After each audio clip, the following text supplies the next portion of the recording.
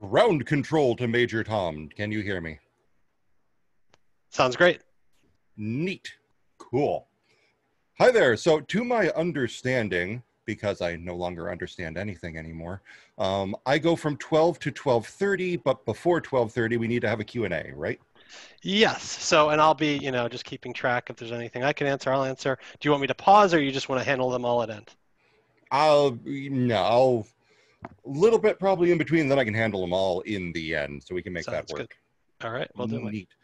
So I am going to test a share screen here. I've been really used to using WebEx, so I am screen sharing. Are you able to see my screen? Looks good. It's the upper left-hand corner of your screen, but um, so we see some of your desktop background as well.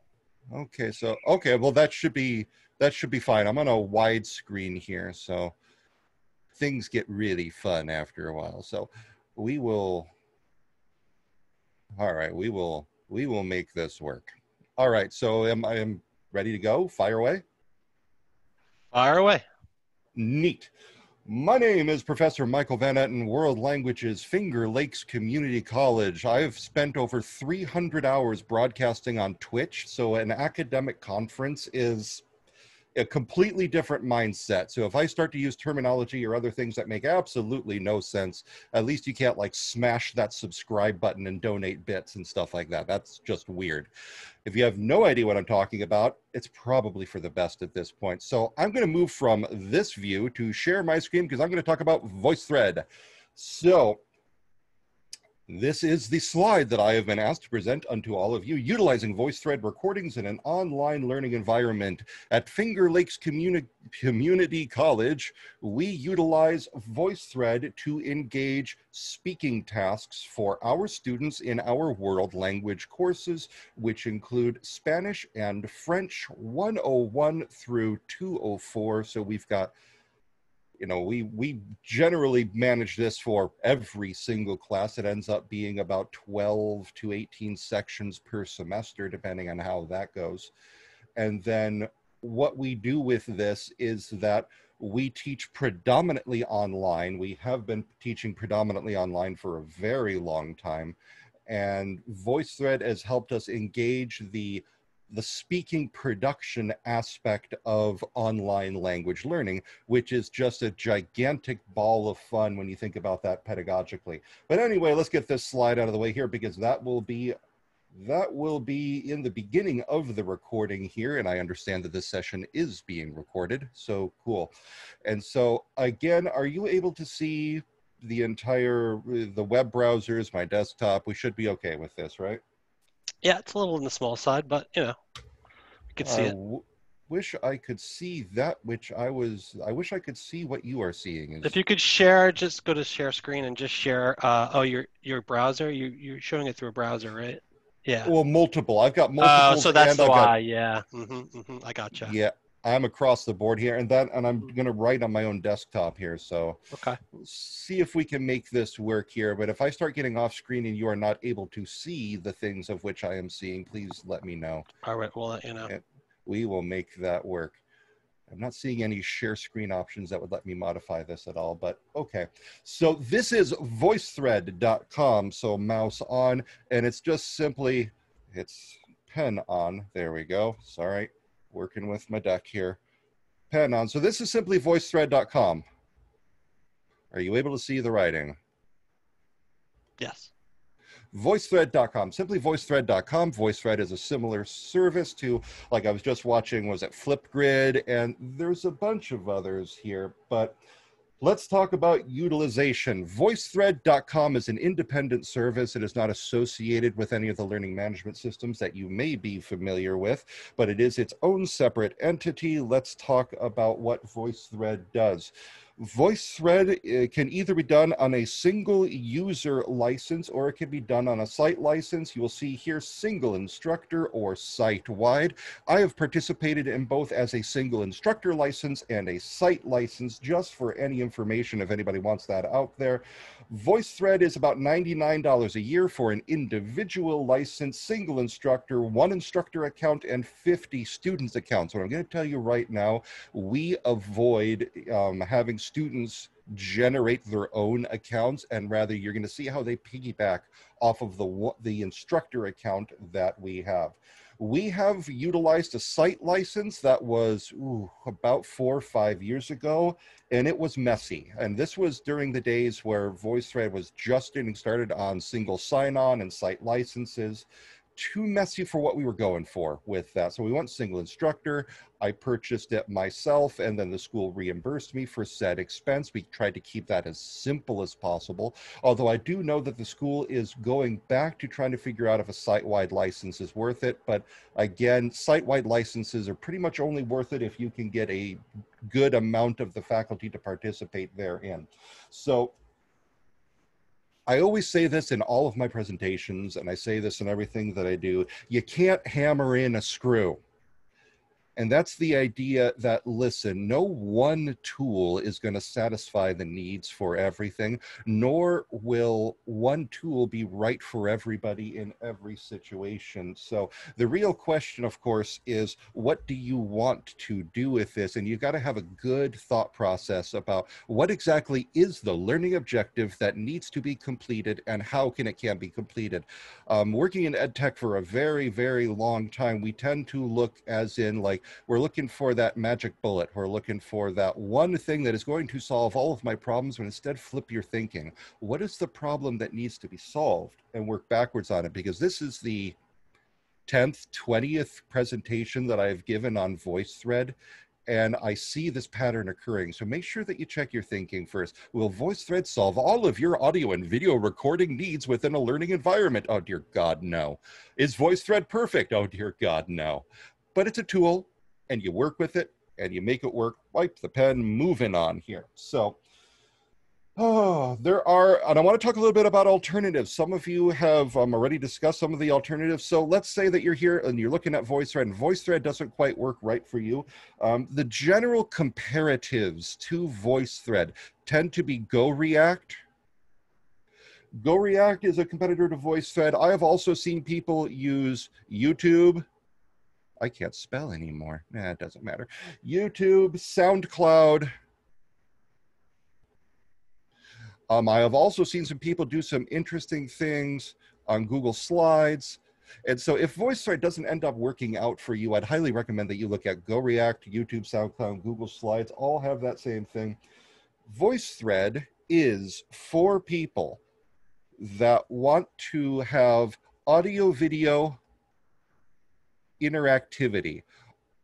It can be in a response form, it can be in a conversation, in as much as it is pretty threaded and done by topic. But it's audio video. That's what we're going for here is that it gives you a clean unified platform that students simply log in go to click a button and make an audio and or video recording whether it be in a one-on-one whether it be in a large group setting. It all depends on how you want the slides to be set up on that. So wiping the pen and moving on. So let's go see. This is voicethread.com. I'm going to get voicethread.com out of the way here. And actually, if you see sign-ins here for voicethread.com, this is the sign-in page for voicethread.com. Um, you can either, if you have your site wide, you can log in through an SSO on the site, but you'll see that there are generally no other options for a login with Facebook, login with Google. Now, you, you each student, and this is one of the first things that I do every individual student needs to create a free VoiceThread account.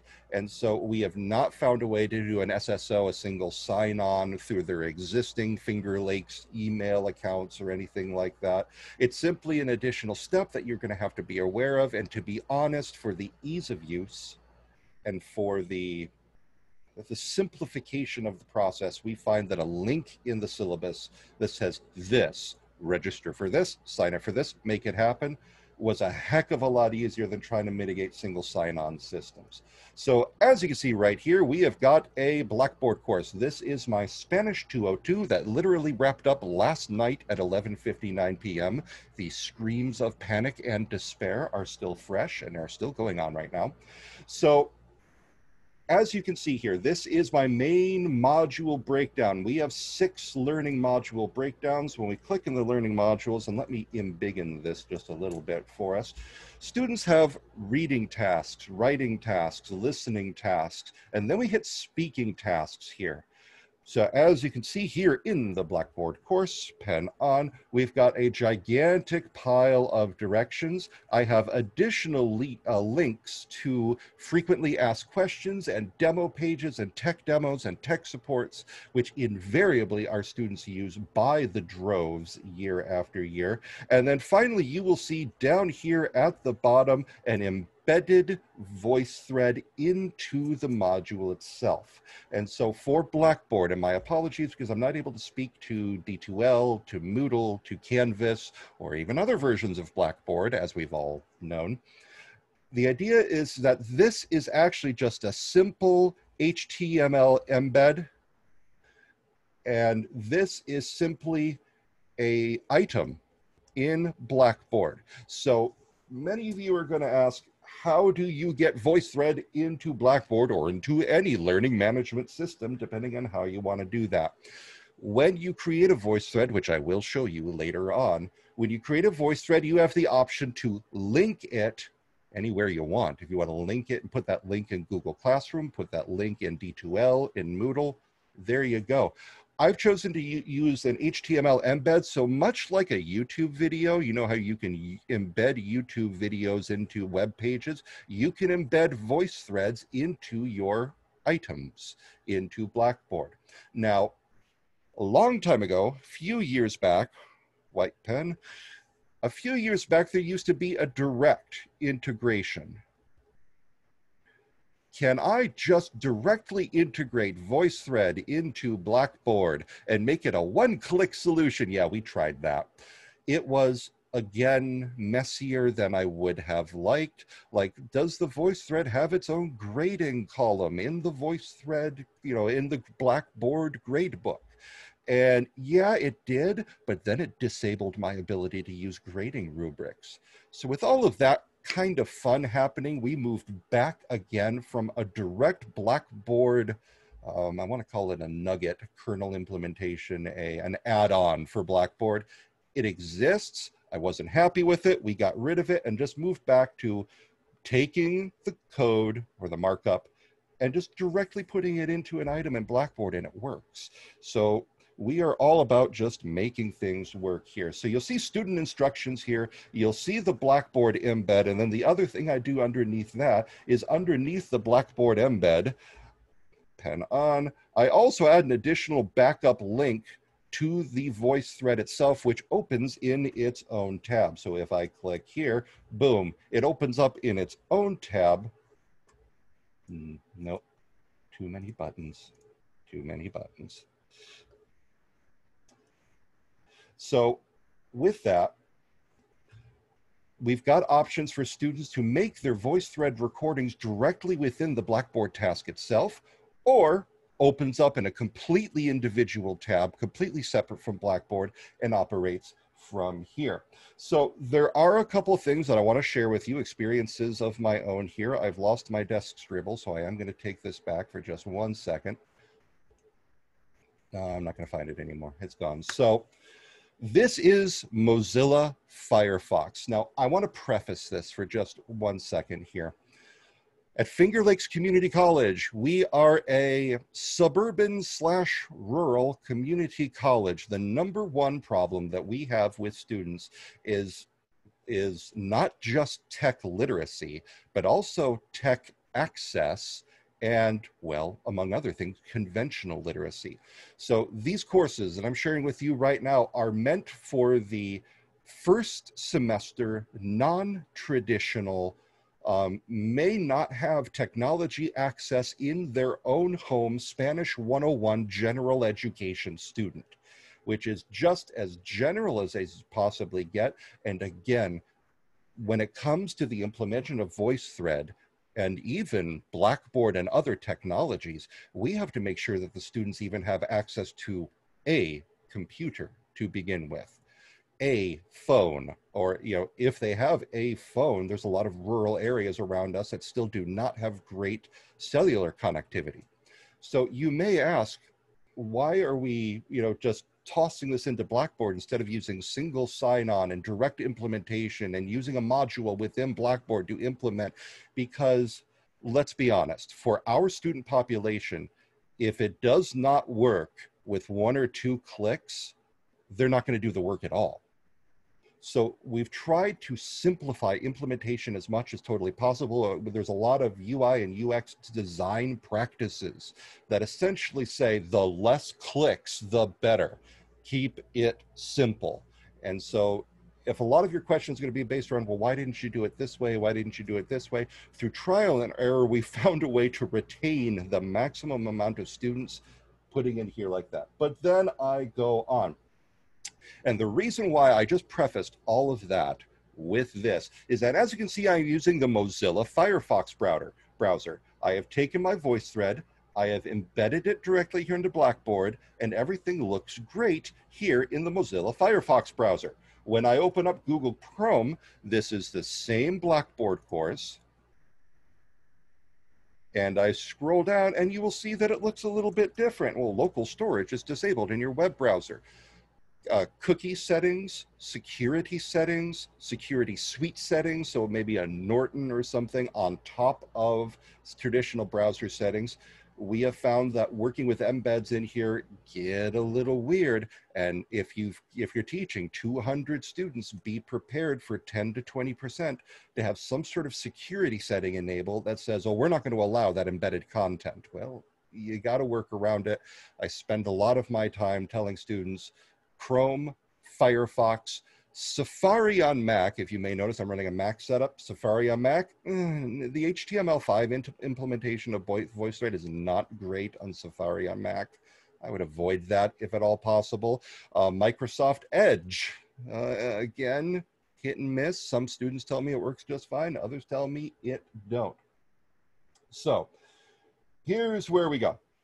We have students, I'm gonna jump back to Firefox this is VoiceThread as it works. What do I do with my students in this classroom? So students create a free VoiceThread account, as in my students do not create VoiceThreads, but what they do is they comment on the ones that I have created. So for example, when you log into VoiceThread, you see this homepage of all of the different voice threads that I have created. I have created individual voice threads for every single speaking task in every single language course. And then my students comment on the ones that I have created. If a student creates a free account with VoiceThread, they should be able to create one, although they may have changed it in the last year, they should be able to create one free VoiceThread or maybe two. Um, and then comment all they want on everyone else's voice threads. But the idea is, is that if a student starts generating their own voice threads, they're going to have to pay soon. And so one of our one of our ethos here at FLCC is that we refuse to make students pay for more things than they possibly can. So that's why you're going to see that I have created all of the base voice threads here. And then a student gets this, and then they turn to the slide. VoiceThread is set up like slides. So for example, I have task instructions here.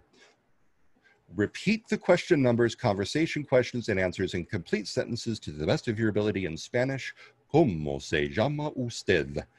And then on the next page, my students have to create a story that's going to tell about physical health of the specific family members, the mental and emotional health, suggested ways. And as you can see here in the left-hand column, we've got Jaime Giardoretto, we've got Reese Lenaz, we've got Carolyn Pollock. These are my students that have commented, although it should have been here on this slide here.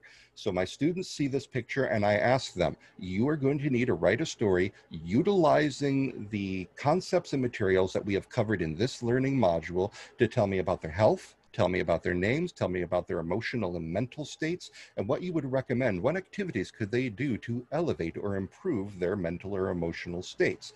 And so I'm just going to click on Rebecca here. And I'm pretty sure you're probably not able to hear desktop audio on my setup here. No, you have to click that when you do share. I, So if you stop so- share and reshare, when you share your screen, there's a button to click to, to do that. Okay, so real quick then, share computer sound, share. And so we'll do one more here. Y hoy es el cumpleaños de mi abuelo. And any better there? Yes, we heard it that time. Nice. Okay. So Rebecca here is using the instructions on the previous slide is created a detailed narrative Mi about abuela this se llama Jorge y él tiene 70 años. Mi abuela, Carmen, tiene And so every individual student here has created an individual narrative and has simply recorded, voice recorded their narrative onto this slide. Now, on my end, this makes my life infinitely easier because I'm not receiving hundreds of YouTube links or audio recordings or phone recordings. We allow one place to aggregate all recordings together, period. And so I see Adriana here. Adriana, I don't know if I'm pronouncing that right. Sorry, I kind of, I'm a language teacher, so I tend to make names weird. Sorry. Can students listen to all the voice recording of their classmates? Your option. So students, students can um, be able to listen to the voice recordings of the previous students. Or you can have students create private recordings that are only accessible to the owner of the voice thread, me. And so your choice. I tend to keep these open because I find that private recordings they work really well, but sometimes students get a little flustered. On the other side of that coin, I do have students that are like, "Oh, that's awesome. I'm going to listen to the person before me and copy everything that they say." And then they both fail. It's hilarious.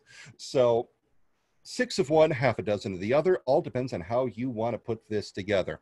Can want to avoid them copying their classmate. Adriana, you're absolutely right. You want to avoid them to copy their classmates. Their classmates. I find it better though to kind of leave it uncomplicated because a, I call them out immediately. Wow, you two have made exactly the same errors at the following 12 points. Mm, that's not going to fly. On the other hand, yeah, they both end up failing it directly. How many comments can be on each slide? Can students reply to other comments? Can they reply to student recordings? So how many comments can be on a slide? I've had hundreds. I think I've got a demo icebreaker one just for them to get used to technology. Hundreds and hundreds and hundreds. I have not yet, hit a limit. Can students delete and replace a voice thread comment if they mess it up? Oh boy, can they. And I highly recommend that I do. I tell my students, make one recording and make it count. And if you mess up, delete it and do it again. Invariably, every semester, I have one student make 26 recordings, like one for each sentence or something like that. And I tell them, please don't do that. And generally, for the other modules, it works through. Can students choose to make the comment private to you or public to class, or is that an instructor decision? Students do have the ability to create a private comment. So if we take a look down here upon the screen of which I am showing you, you will see a little bubble tab here at the bottom that says comment. When you click, you need to sign into VoiceThread to make a comment. Okay, fine. I'm going to bounce over to Chrome here. And so I'm going to open up the VoiceThread here in a separate page. Here are the comments. So here in the comment wheel here, we have text comments. Students can call in on their phone. So if their computer explodes and there is no mic and no anything like that, students have a, they can click the make a comment using their phone. However, students do have to purchase a minute pack from VoiceThread to make this work. I have had students do this where I warned them and said, listen, you can call in using your phone, but you've got to pay for that. And they're like, okay, I can do that because I don't have a working microphone on my phone. This is your traditional audio recording. Students can make video recordings. I recommend that my students do. I would say like one every year actually can, but students are able to record video comments. Now, I'm not going to click that button right now because I don't know how Zoom and Mac are going to handle multiple video input sources at the same time, or they can upload things here. So yes, as you can see in this demo voice thread, everybody's accounts shows up here on the left-hand side. I'm able to go through and make that work, but they can make video comments. So they can actually speak to you using video. They can make audio comments. They can doodle. They can scribble all over the slides that I have provided. So what I do is I create slides in PowerPoint or Keynote, and then VoiceThread lets me just upload picture, picture, picture, picture, and then you can address it that way. So this is a the simplest implementation possible. You can also take short videos that you create and have students respond to lectures. I know instructors that have done entire lectures in VoiceThread and students have to ask questions or respond, create a response to the lecture video in which they are watching. Now, again, this is where I'm not going to hammer in a screw I, everybody's got different levels of implementation. It does allow you that level of creativity to say, I'm going to create this. I'm going to embed this here in the VoiceThread. As you've already noticed, this is the simplest implementation to get you started today. You create a VoiceThread, you link it into your Blackboard course, students make an audio recording, done.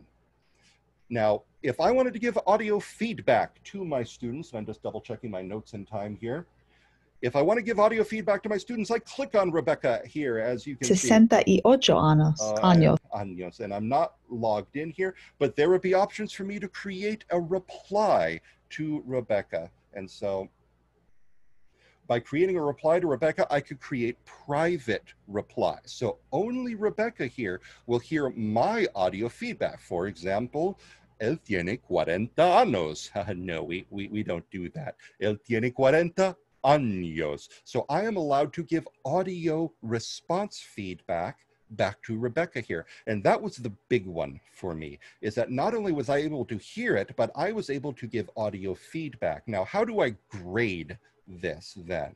Because as you've noticed, this is not a module embed. This is not something that's directly implemented. This is just a simple item in Blackboard. Well, what I do generally is on one frame here, I have the voice thread. and then I literally in a separate window, not in course tools, tools and grade center, speaking tasks, open link in new window there. In one window, I have my Blackboard gradebook. In the other window, I have voice threads and I use the grading rubrics that I have already created in Blackboard. I listen to the voice thread, I fill out the rubric, I add comments, I make a voice recording if one is necessary. It's simple. Again, there are far more complex ways to more deeply integrate VoiceThread, but this is the simplest, fastest implementation, and then you can get fun after that. Andrew asks, can students reply to other students creating a thread? Yes, although if I recall, it's only at a single level. So for example, if another student wanted to reply to Rebecca's recording here, then they would be able to create a recording, a reply recording, but then that doesn't stack deeper it's just a single one. Now, everybody in the class is also able, so Rebecca here could have, you know, a hundred responses to hers, but it doesn't descend any deeper, not at least in the implementation that I've been using. I have not heard of that feature yet. And it is now 12.29 p.m. I've gone as fast as I possibly could here, but go to voicethread.com, you create a free account with one free voice thread, then try embedding it then try adding more media to it. It really is robust, but the idea is that make sure that the primary function of VoiceThread is really that audio-visual communication. Do you want students to make videos back at you? Do students want to make recordings back at you? Stuff like that. The idea is that you're seeing each other, you're hearing each other, and you can simply and effectively aggregate it all to a single place. What do you got? Yeah, right on time. Uh, now you still have two one minute, but uh, the, you, there are no other uh, questions in the Q and A. I just want to sort of emphasize again what you just said about figuring out using it for with the audio visual pieces. So I've used it myself, um, but you know, for more like a traditional discussion, hoping that students would use it for audio and maybe do a webcam post. And unless you require that they do that, they will not, and they will just type text in, and that makes it sort of not really worthwhile uh, you might as well just use the LMS if you're just going to have them use text. So, you got uh, yep. And a lot of campuses do have it you know, like I, I teach for Brockport, and it's there's a site license at Brockport. So if any Brockport people out there are interested, there's a site license. Yeah, the site licenses make it nice so that if you've got five or 10 faculty members that want to aggregate materials and easily distribute voice threads amongst each other or access to each other. At FLCC, there are only two of us that are doing Spanish and French, so we just sit next to each other and talk. But yeah, it's, it's however you make it work for you. Nobody else out there, really. I was expecting to be grilled alive here. Chris, you're still muted. Oh, I think we have a half an hour breather now for everyone. Uh, and so uh, thank you, Michael. That was that was excellent. Uh, I think Victoria can probably stop the recording.